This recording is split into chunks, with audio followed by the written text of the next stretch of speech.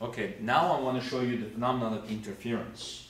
Interference uh, is some kind of source of uh, wave again.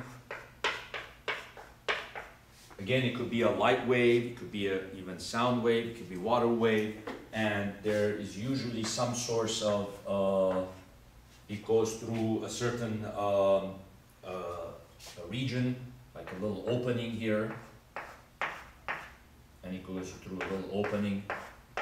So essentially, the wave theory of light tells us that when you have two sources of light or two sources of water waves, two sources of any wave, and it's dispersing out from two different regions, that the crest of one wave will um, successively meet the trough of the other, or the two crests might meet each other. Wherever the crest and the trough meet, they will kill each other, and wherever the crest and the crest meet, they will enhance each other. So it will look something like this.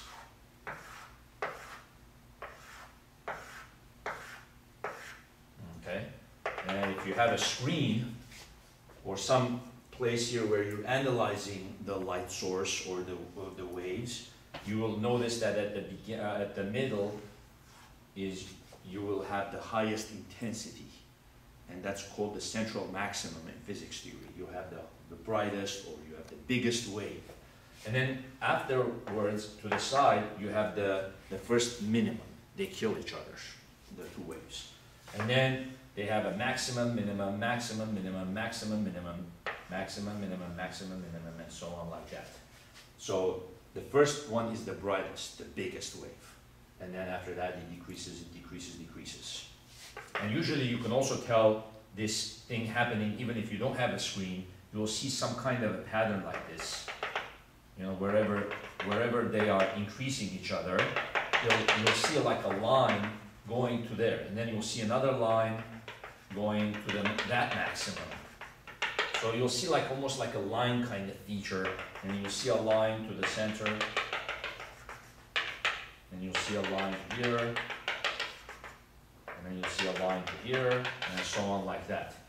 Uh, today I will illustrate this using water waves and then on another uh, occasion I will illustrate this using laser beams. I will shoot the laser beams out through two slits and I'll show you that they actually interfere. But so today let's focus on the water waves. Come over here, turn off the lights.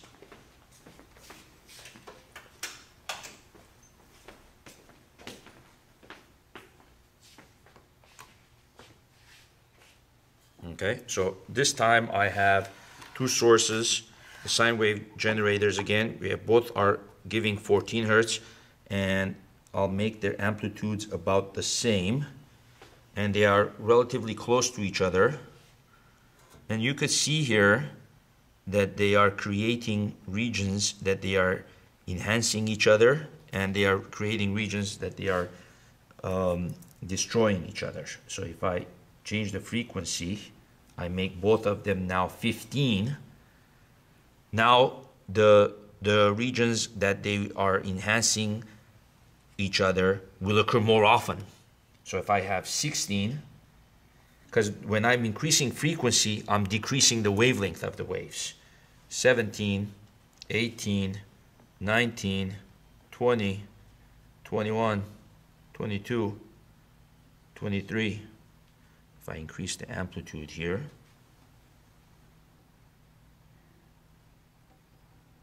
okay, you could tell here, you see wherever the black kind of looking spot meets with the black of there, they enhance each other. And if I increase the amplitude some more, now I'm going to increase it more.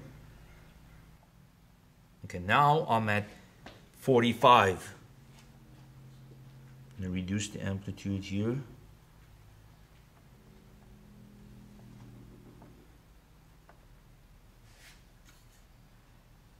Again, you're seeing here, I'm at a frequency of 38 hertz.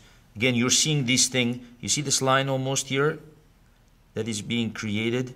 That's the region, and it's going to become a maximum when it hits the side here. So you see those lines occurring, and they're occurring more often. So if I increase the frequency, this is 39. This is 41.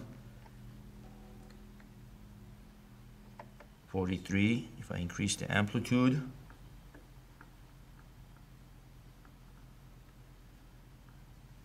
you see now you could tell they they occur more often. Now if I go to the extreme other end, low frequency, if I go to 1 hertz, 2, 3, you can kind of see this beginning to happen, but not as there aren't too many. Okay, you can see it happening again. 5. Now there's again a region here that you're gonna start to vibrate a lot. So this one is pretty good, you can see it.